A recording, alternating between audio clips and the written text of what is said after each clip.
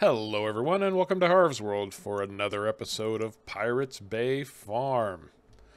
So, it's been a while, and when last we met, I was harvesting canola. Well, I did end up with about 150,000 liters of canola, and I'll tell you what, the uh, the buyers around here have had a little bit of a bidding war lately, and there's a really good price. So I need to get that sold off today. Um, cotton also has jumped up in price, and I figured if I need to run the cotton bales down, I'm going to take the equipment I want to get rid of.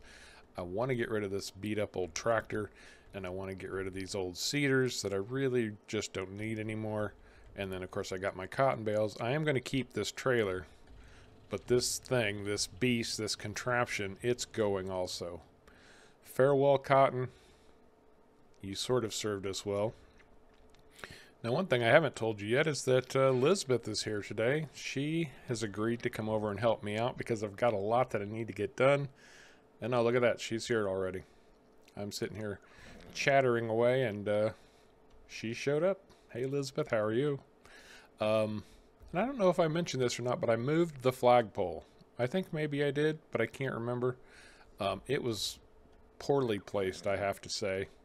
so our pirate flag is... Uh, over here now and out of the way. So how I'm going to get started is I'm going to drive the thing down to the shop. Real close by is the cotton bale sell point, so I'll be able to sell those off. And I'm going to ask Lisbeth if she won't start running canola for me down to the harbor, which is exactly where I'm going also. So with that said, we should probably get the show on the road. If you'll drive the big truck, it's already loaded with the first load. It's going to be about four loads of canola that needs to get run down there. But I want to hurry before the price starts dropping.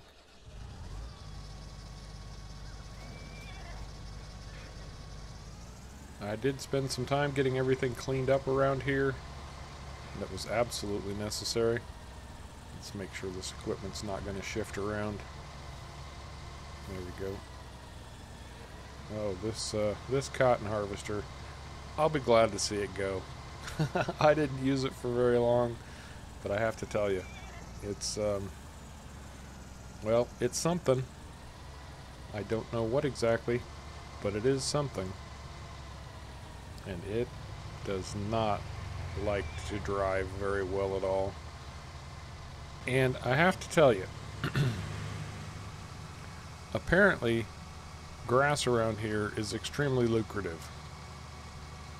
Now, if you'll notice, I've got $246,000 sitting in my pocket right now, when yesterday I had about 106.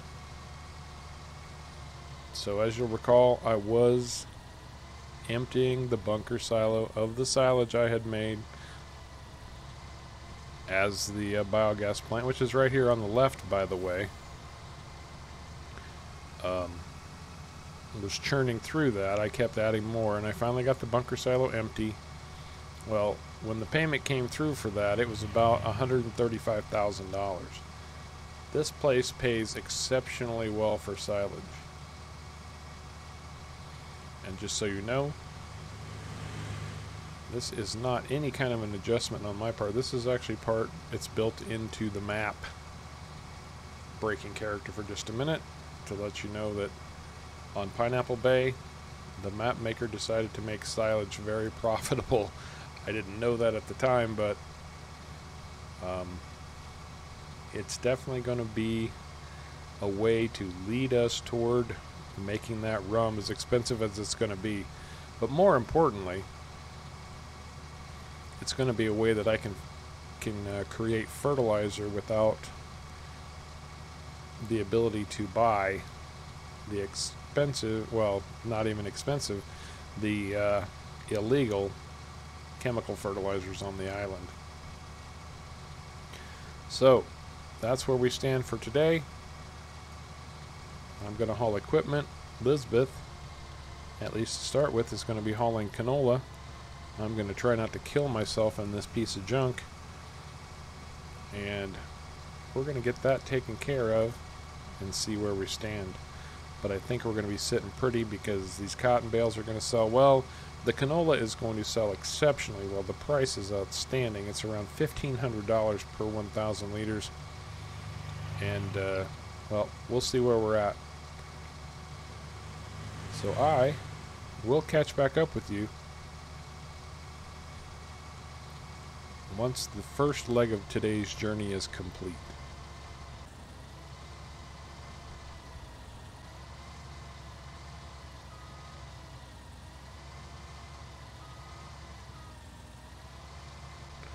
Well, I managed to squirrel this thing down here. And it was probably a mistake, but hey, the cotton bales are sold. Then they brought in $95,583. And yes, all my equipment is falling off. It's a good thing I am so bloody close to the uh, the shop right here across the road. Nope, stay on there. Well, we're close enough now, even if it doesn't stay on there. I can uh, I can manage it.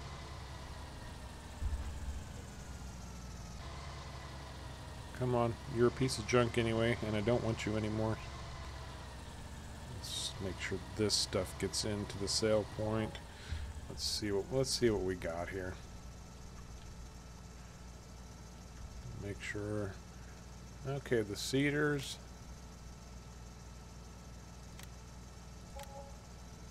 Oh, worth almost 10 grand for that seeder. That's not too bad.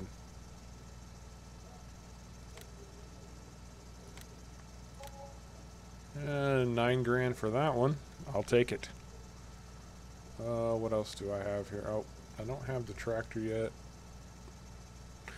Actually, that will work out. I'm going to sell this stupid piece of junk cotton round baling thing. And I'm still going to lose a lot of money on it, but I don't care. I want it out of my life. Now I can grab this junky old tractor. and now I've got a header sitting around. You know what? I'm just going to smash it in. Smash it in so I can get it sold. I want no memory left. I'm going to pull this trailer out of the way and I'll come back down here and get it later. At least I got the trailer out of the deal, and that's going to be pretty darn handy regardless.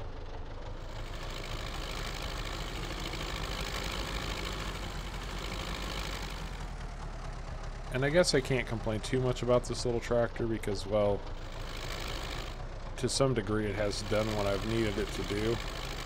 It's just obnoxious.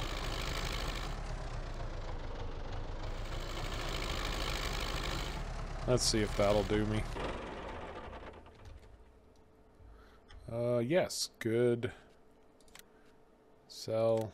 Well, the header was worth 14 grand, so I didn't do too bad on that deal, really. I didn't. And this junky old tractor is only going to net me $3,000. So that's done. I'm going to walk back over to the harbor now, catch up with Lisbeth before she heads back up to the farm for the next load of canola, and uh, have her give me a ride. Well, Lisbeth dropped me back off at the farm, and I knew that this uh, oilseed radish needed to get cultivated back in to get, get me that uh, fertilizer state. So that's what I started working on, and she kept running canola for me. Got that all sold off, and it's been a heck of a payday here. $661,000 we're up to. Outstanding, absolutely outstanding. Now, what she did, she uh, when she got that done, she ran over to her farm to borrow or to grab one of her tractors. She should be getting here any time now. She called not that long ago and said she was on her way with the tractor. And while she finishes cultivating this field, I am going to set up my seeder and uh, start getting a new crop in here because um, uh, it looks like she's coming now. So I'm just going to wait on her to get here because like I said, this is one seriously expensive venture and it needs to keep moving forward. Um, and I need to think about what I'm going to do with this money because I do, uh, and we're just going to swap tractors to make things easier on both of us. And I need to start thinking about what I'm going to do with this money because, well, there are many, many things that uh, need to start moving forward here. Now, like I said, getting the sawmill set up, that's going to be almost half a million dollars, which I could do. But I really, really, really need to start generating a lot more grass. So I'm still thinking about the possibility of uh, buying that grass field I was talking about for 350,000 so I can start pushing that into the bunker silo and start making a lot of digestate because I was looking at the the stats on field 44 and that's the big one of course and just to do that field one time with digestate I would need like 180,000 liters of digestate. So I'm if I want to get rid of the oilseed radish I need to start producing a ton of grass now the flip side of that is okay yes I'm adding a lot of work but at the same time, I'm generating a lot more income because every time I turn in silage to the biogas plant over there, it's going to uh, going to pay me for that. So I just have to think it through a little bit.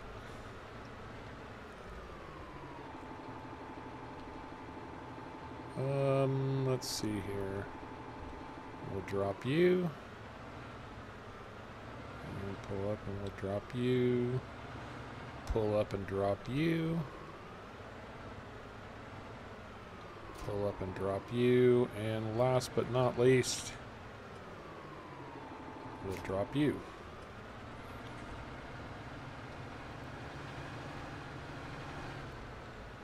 I'm going to start with the closest one. And I think you all know the drill here by now. Maybe you don't. Maybe this is your first time. So basically, oh, I need to make sure that I'm setting these seeders. What am I going to put in today? What haven't I done? Let's see what soybeans will do for us on this Pineapple Bay island. See if soybeans won't treat us very well. I mean, I'm tempted to throw more canola in, but where's the fun in that? Let's do something new.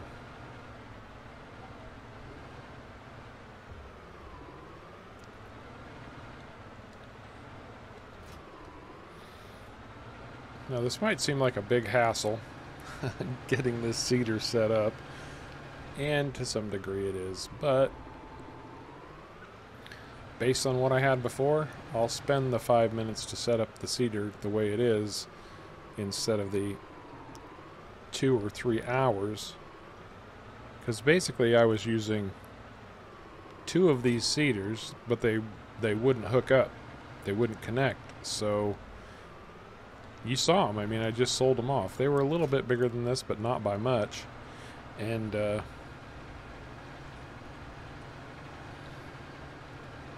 Well, this makes life significantly easier. Significantly easier. Words cannot express how significantly easier this, this makes my life. Even with the hassle of hooking everything together. And I think it was this one right here that did not get switched over to soybeans yet. And that is right. Good job, Harv. Sometimes you got to pat yourself on the back because God knows nobody else will do it for you. I'm sure everyone knows exactly what I'm talking about. Okay, now we just grab our bracket or brace or whatever you want to call it.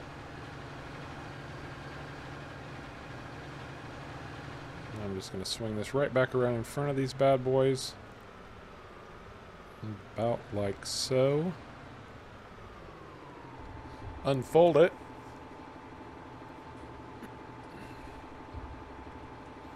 Oh, and of course I, I just had to, uh, had to bump that seeder so it's not lined up anymore. That's lovely. Oh well, we'll sort it out. That's the nature of the beast.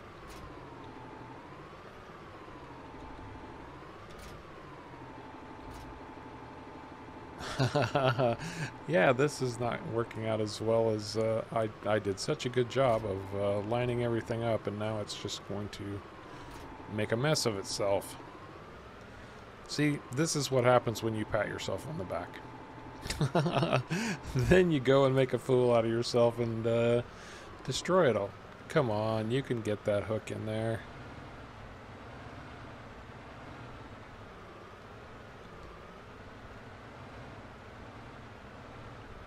Come on. Come on. Really close. oh, oh, yes. Oh, man, that just popped right in there. And yes, we are completely set up for soybeans at this point. Outstanding. Absolutely outstanding. Yeah, it's been extremely kind of Lisbeth to come over and help me. Although to be fair, I did, uh, I did get her potato field taken care of. And if you've ever done potatoes, you know exactly how much work is involved in that. Although I didn't personally do the work, I hired somebody to do it, but still. I played farm manager to get that job taken care of, so now I need to make sure all of these are turned on. Drop them down. Everything should be down. Let's see what we got working here. Yes, we are trucking.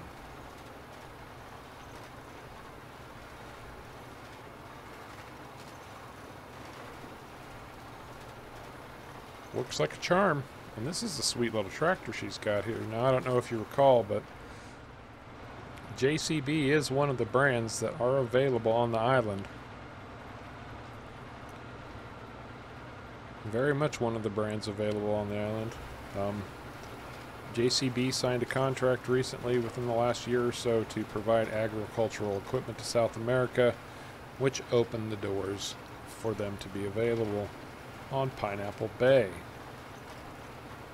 And that's kind of a big deal because they do make a very, very fine tractor, as you can see. And you know, it may be funky, it may be a little bit hard to set up, but I'll tell you what, this thing does a great job of planting a field. It put the canola in. It did my oilseed radish that I that's right over there that's being uh, plowed or cultivated in by Lisbeth to take care of that first level of fertilizer. So yeah, I I have no complaints with this thing. It, it's been a lifesaver, if I'm completely honest, an absolute lifesaver.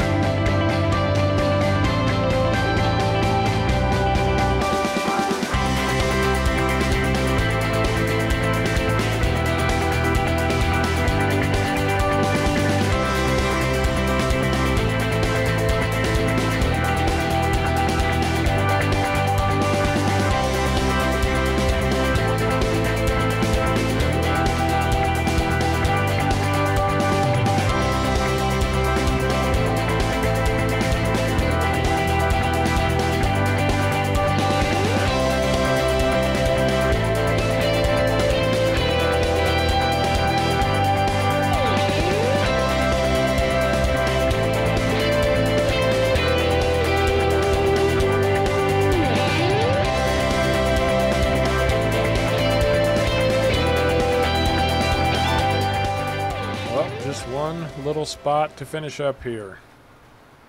Thank goodness. I feel like this field has taken forever. And as you can see, the weeds are being exceptionally aggressive this time around, which is, needless to say, um, very, very annoying.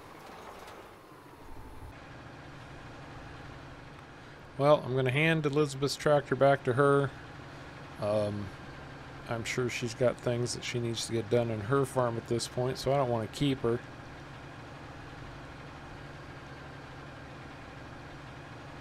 I think I'm going to go look at that grass field. I'm going to go look at it and see um, just what I think I might be able to do with it. And if it looks promising, like I said, it's going to require a lot of digestate to uh, do away with the oilseed radish. Or maybe I keep doing oilseed radish and do away with the rollers, which is probably the, the truth of it because the rollers are what take up the most time. I don't know. We'll see. But there's her tractor back to her. And apparently she's in a big hurry, so away she goes. Fair enough. Uh, looks like I've got equipment to put away today, which is not a problem. I'm going to grab my truck, run over and look at that grass field. Maybe I'll just buy it. Maybe that's what I'll do. Well, this is the grass field, and it is what it says it is. And man, it's a nice big expanse. I bet I would get a lot of grass off of this. I think realistically, it's probably going to be worth the money. And I'm pretty sure it'll pay for itself because the biogas plant is willing to pay exceptionally well for silage. And I'll get the digestate I need. So I really need to start cranking out silage. I mean, almost 200,000 liters of digestate just to take care of field 44 alone. And then, of course, I'm going to need some kind of a spreader for that. And maybe that's where I have to go talk to Lisbeth and uh, see about um, maybe getting one of those pieces of equipment that's not so easily or readily available on the island. Okay, so at this point I have to issue a quick apology. Lost footage. I have lost some footage. Um, but, as you can see, I did buy this big, big grass field down here. I have been mowing and pulling grass for quite some time and just finishing it up here when I realized uh, there was a problem. But I did buy the field and I've got a building in place because I'm going to store my mower down here I put in the building. And even better, so much happened in that technical issues. Sometimes they happen. Anyway, um, once Lisbeth went home for the for the afternoon, I did call the store, call the shop, and as aggressive as those weeds were being on field 44 today, and of course you know how tiny my equipment is, I called the shop, and I don't know, I you know sometimes you just assume that they don't have because the supply is often frequently limited, although I've been pleasantly surprised upon occasion. And yes, it is a bit of a challenge finding a good route to that grass field, but I've been making this work for me, and I think I'll just keep doing that. I'm avoiding the other farmer's field and just using the uh, outskirts of it, so unless they get angry with me, I'm just going to keep doing it that way. But anyway, the shop, surprisingly, had a nice, big, fat weeder I could use.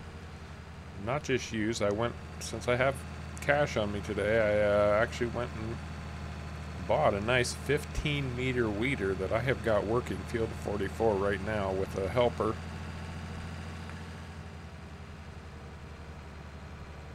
Because as you can see, we cannot afford to have weeds mucking up our harvest. And when we make sure everything gets done the right way, well, the payoff today shows you exactly how well things can go. But the question of the hour is what do you call a pirate with two arms and two legs? A rookie. ah, the dad jokes. They never get old, do they? Stop rolling your eyes. Stop it. We're going to learn a few interesting facts about pirates today that I don't think we've covered in the past. Just interesting things about the life of pirates. Now we've had the proverbial dad joke about how much does it cost for a pirate to get his ears pierced. And uh, obviously the answer was buccaneer. But interestingly, and you can see I've been working hard to try to keep this piled in the middle because I've discovered that the edges of these bunker silos don't like to work and play well together. So I've just kind of been rolling straight through the middle of it and starting to drop my load and, and trying to pile it as much as I can this time instead of getting it so flat.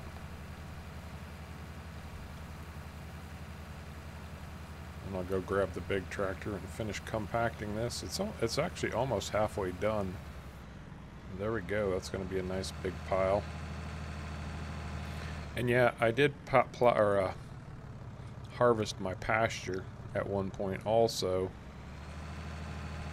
and have a little bit, not a lot, maybe about 40,000 liters in that silo over there ready to be sold off. anyway, you know, people know pirates pierce their ears, blah, blah, blah. We all know that at this point. But what we didn't know, or what I didn't know at least, is that there was actually a reason that pirates wore earrings. and they believed, superstitiously I might add, there's no no scientific merit to it, but superstitiously, pirates believed that wearing an earring, putting pressure on the earlobe would prevent seasickness. So that was a common misconception amongst pirates that they could ward off their seasickness if they had earrings in. I found that to be pretty darn interesting, if I'm honest. Very interesting indeed. And you know, I didn't notice it before. Oddly enough. Maybe not so oddly. I'll show you as we drive by in the big in Big Boy here. As it takes 15 minutes to uh, fire its engines up. Come on, Big Boy. Let's go.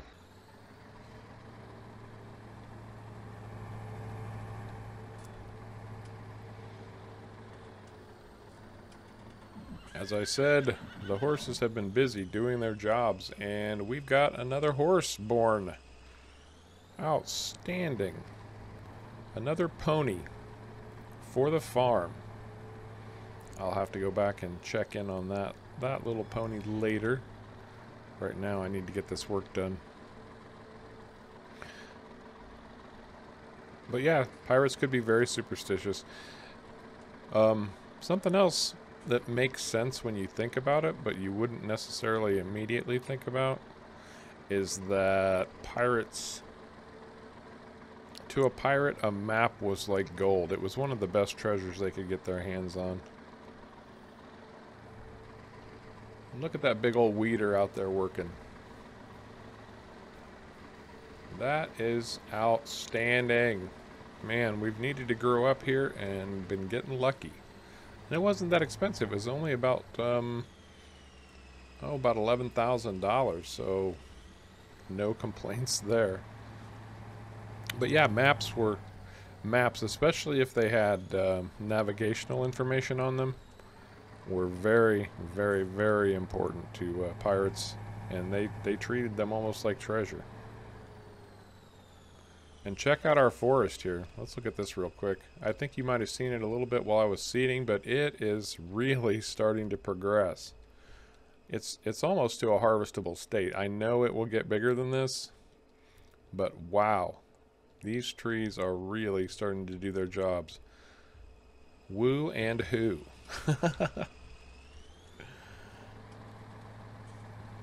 yeah, in fact, at one point, um, there was a pirate who had a map that they had reprinted or recreated or whatever you want to call it um, in a very nice format. You know, they had it done professionally and in color and all that stuff and presented it as a gift to a king.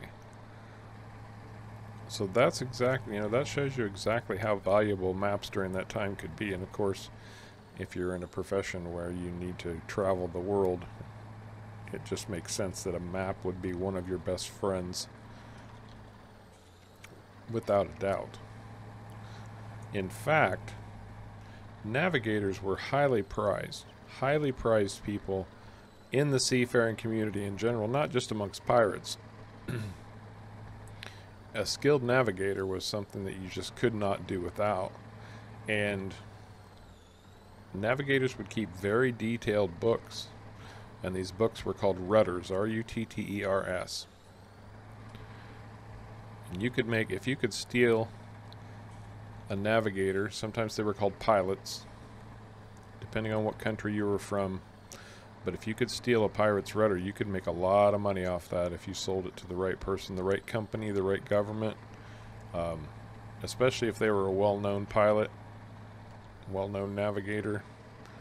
But these books would have detailed information about all sorts of destinations, um, you know, what kind of sea you could expect, what kind of sea floor you could expect, how deep the water was, you know, where there might be a reef that you had to avoid, you know, very, very detailed information.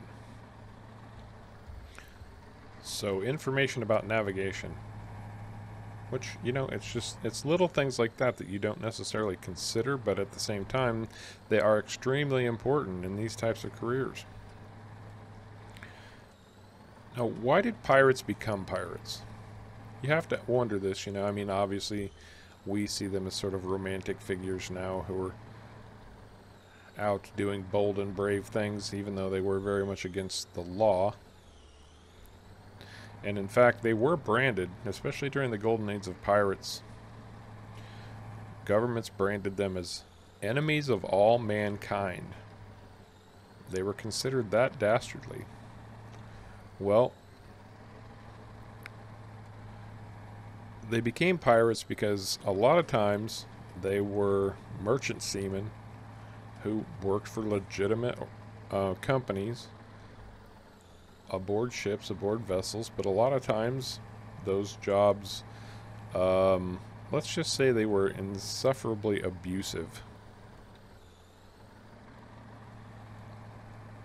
They'd go out to sea, captains would put them on a ship that was completely short of provisions. They, the captain knew they didn't have enough provisions to get everybody through the entire journey. And of course, they're not going to tell anybody this, but that such was the case from time to time. And, uh, well, a lot of times when they got back into port, they wouldn't be paid. The, the captains would steal their money from them. Find any excuse to prevent them from uh, from making what they were promised on the uh, on the trip they were taking.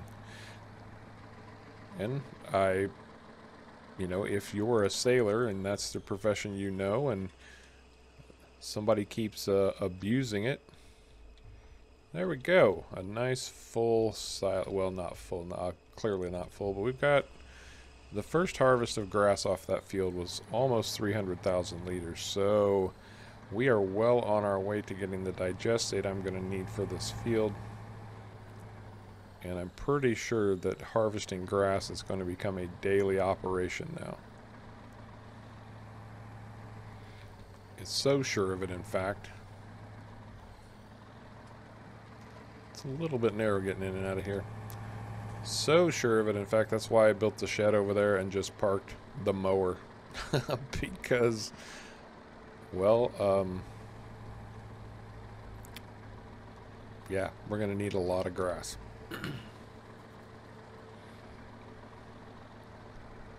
but yeah, if somebody's abusing you that way, are you going to stick around in that profession? No. And in fact, you know, if you have an opportunity to apply your profession elsewhere in a better way, of course you're going to do it. And that's one of the reasons behind the fact, you know, that's why the pirates decided to do what they did in, in creating um, shipboard rules and electing officers and all of that stuff we've talked about in the past. That was the big reasoning behind it. Was because uh, they got sick of the abusive life that they had been a part of in the past and just they weren't going to settle for it anymore. The pirates' code, if you will. They weren't going to suffer abusive captains who took advantage of them. They weren't going to suffer not being paid. It was going to be spelled out in the rules. Hey, this is how much we get, etc., etc. So that's where they stood. That's where they stand.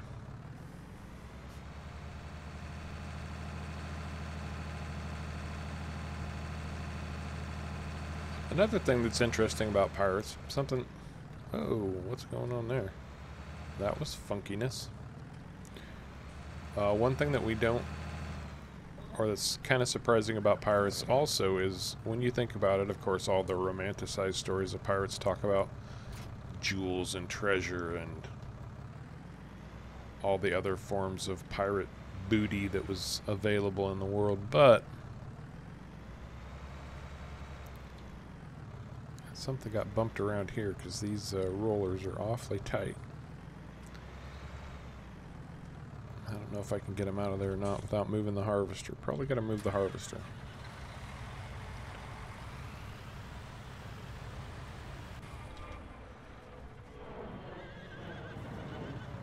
But pirate treasure wasn't always gold and jewels and all of that. A lot of times it was something as simple as flour or molasses. Any goods that they could take off of a merchant ship. That's what they were after. And uh, probably 90% of the time, that's exactly what it turned out to be was, you know, trade goods. And of course, they would have networks set up where they could uh, bring their network, their shipments in, these brokers, if you if you want to call them that, would buy the goods for pennies on the dollar, repackage them, repurpose them, whatever they had to do, and then ship them out to legitimate interests who would buy them at full price.